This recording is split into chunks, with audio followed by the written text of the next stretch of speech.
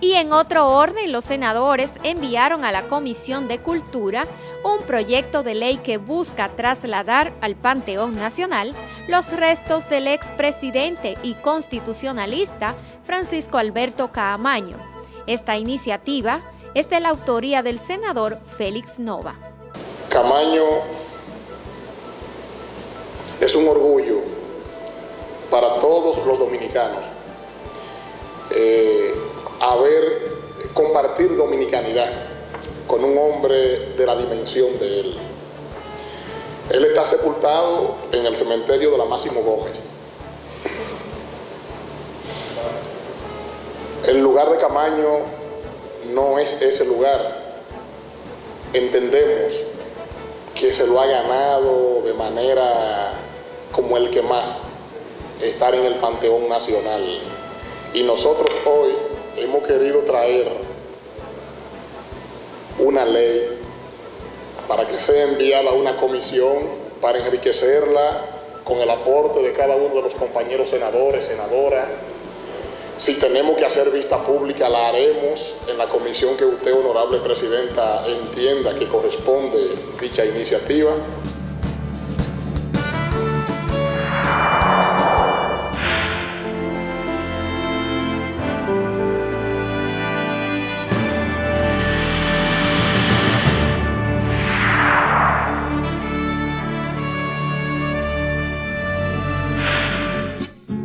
La última hora de Camaño. Eran las 3 y 15 de la tarde del 16 de febrero de 1973 cuando unos helicópteros descienden en el lugar donde ya Camaño había sido hecho prisionero y en la humilde casita donde se encontraba, desde donde fue trasladado a un lugar solitario cuando sus captores se alejan de él, Camaño se da cuenta que su fin ha llegado. Dijeron que estabas muerto, Francisco Alberto Caramba. Por lo que exclama con voz fuerte, ah, entonces me van a matar. ¡Viva Santo Domingo Libre! Alberto Caramba. Heroicamente, con más fe que armas y con un enorme caudal de dignidad, el pueblo dominicano abriría de par en par las puertas de la historia para construir su futuro. Tú estás viviendo en el pueblo, Francisco Alberto.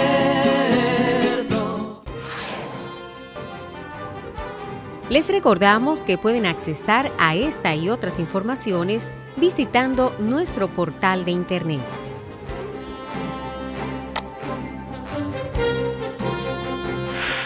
Y continuamos con más. Entre con nosotros al día a día del Senado de la República.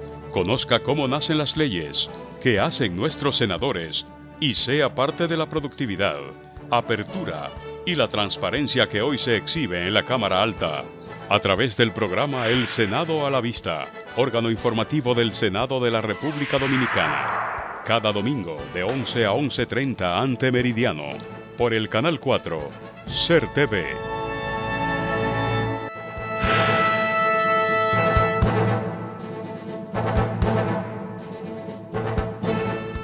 Y vea más adelante. Por eso iniciamos hoy un ciclo de intervención relacionada a los derechos civiles y políticos de los dominicanos y las dominicanas. Conoce tus derechos fundamentales con el licenciado René Jaques en la sección Conoce tu Constitución. Y además... Hemos luchado porque se haga una revisión de los contratos de generación. Presidente Comisión Energética del Senado opina sobre problemática generación y distribución. Y en nuestro segmento Conoce tu Constitución, el licenciado René Jaques aborda en esta ocasión lo que son los derechos, garantías y deberes fundamentales de dominicanos y dominicanas. Veamos.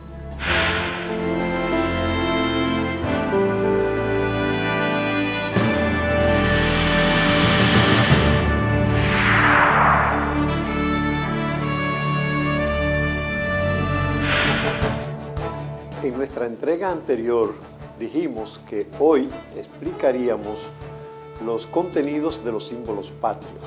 Dijimos que los símbolos patrios eran el escudo nacional, la bandera nacional y el himno nacional. Pero, dada los niveles de detalles en que entra la descripción de cada uno de estos símbolos patrios, preferimos que nuestros televidentes se revisen los artículos desde el 32 hasta el 36 de nuestra Constitución, donde da una explicación con lujo de detalle sobre lo que significan estos símbolos patrios. Por eso iniciamos hoy un ciclo de intervención relacionada a los derechos civiles y políticos de los dominicanos y las dominicanas. Comenzamos por hacer referencia al artículo 37 de nuestra Constitución. Es el primero de los artículos dedicados a estos fines y se refiere al derecho a la vida.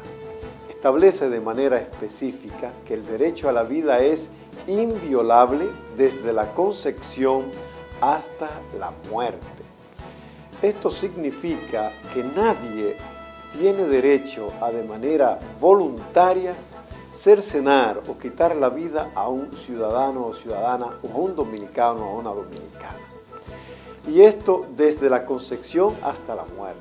Desde la concepción porque no es sano, no es prudente, no es agradable, es totalmente inaceptable que a un ser humano que acaba de ser concebido se le quite la vida.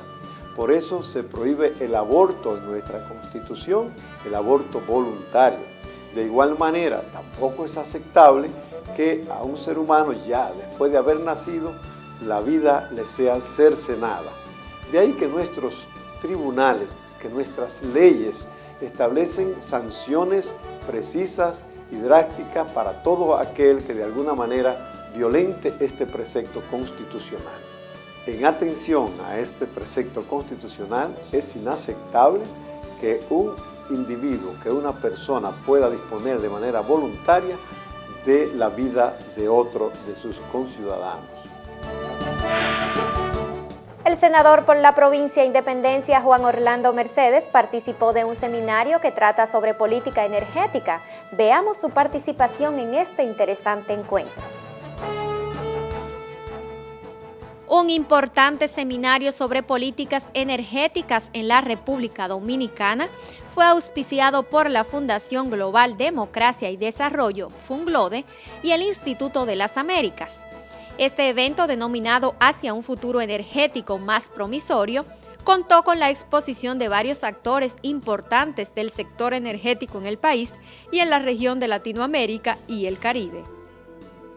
Dentro de los expositores se encuentran el senador Juan Orlando Mercedes Sena, presidente de la Comisión de Asuntos Energéticos de esta Cámara Alta, quien expuso los esfuerzos realizados desde ambas cámaras legislativas en la búsqueda de soluciones al sistema eléctrico nacional.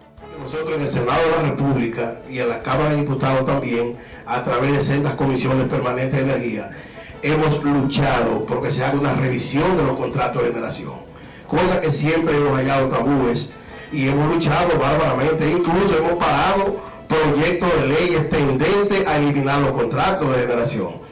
Y nosotros entendemos que no es factible ahora embarcarse en un problema de eliminar contratos, sino hacer revisiones y ver las causas reales de por qué la energía es tan cara, por qué la gente no puede comprar la energía y está en los contratos de generación. Y hemos luchado con diferentes administradores para esto, con algunos avanzamos, e incluso casos como Palamara, que dieron muy buenos resultados.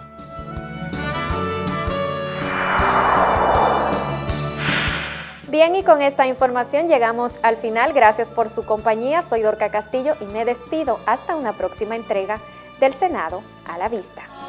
Francisco Alberto, mira tu pueblo